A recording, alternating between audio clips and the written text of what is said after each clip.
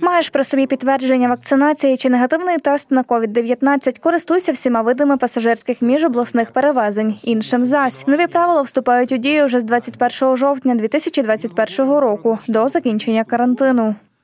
З 8 листопада частина закарпатців мають бути обов'язково вакциновані, якщо вони працюють е, в обласної адміністрації, в обласній адміністрації, в районних адміністраціях. Якщо вони працюють в представництвах центральних органів виконавчої влади на місцях, або якщо вони працюють в закладах освіти. Отже, вакцинація для цих категорій співробітників є обов'язковою.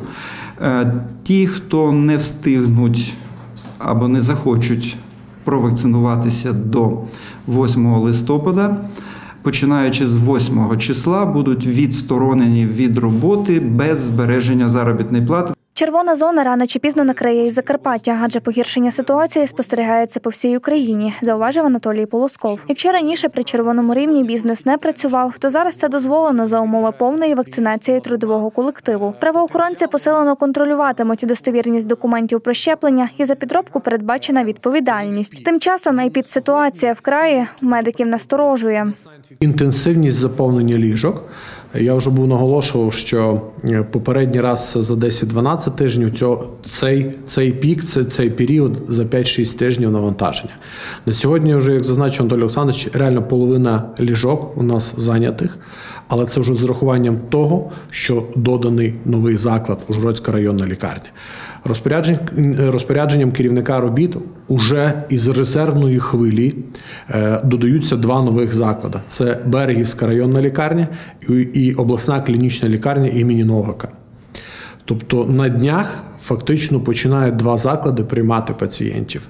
Кожен десятий інфікований закарпатець перебуває в палаті інтенсивної терапії. Кожен четвертий п'ятий потребує ШВЛу. 5-7 летальних випадків щодня. Осіння ковідна хвиля більш агресивна ніж весняна, застерігають лікарі.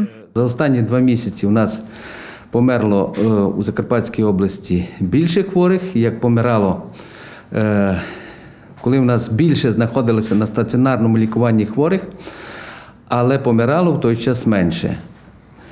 Ну, причина, перш за все, хочу наголосити на чому. Дивіться, більше як 98% у стаціонари поступають хворих, які не щеплені.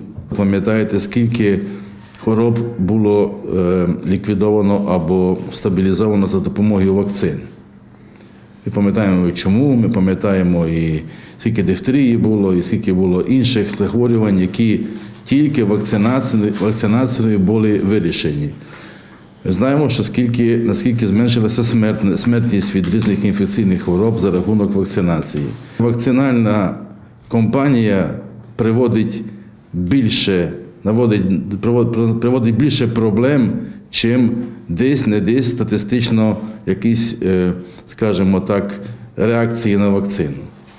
Таким чином, е, агітувати за вакцинацію.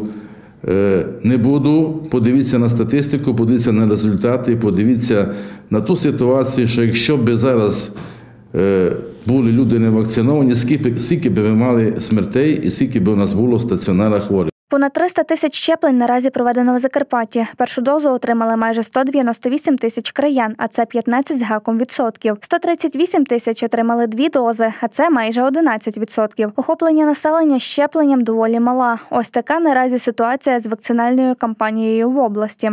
За минулий тиждень е, змушена констатувати, що ми значно погіршили свої показники вакцинації і знизилися темпи на 34%. Це практично саме велике зниження по Україні. Е, На минулому тижні ми виконали е, трохи більше 12 тисяч щеплень на противагу попередньому, коли зробили 16 тисяч. Відповідно, маючи всі необхідні запаси, залишки вакцини на регіональних складах, в медичних закладах, е, це вкрай негативна ситуація. 18 громад із 64 і не досягли 10% бар'єру. Пасуть задніх здебільшого громади Тячівщини і Хущини. У лідерах з понад 30% охопленням Ужгородщина, Берегівщина, Мукачівщина. Що ж медики і очільники краю б'ють на сполох. Єдиний вихід вкотре наголошують це вакцинація.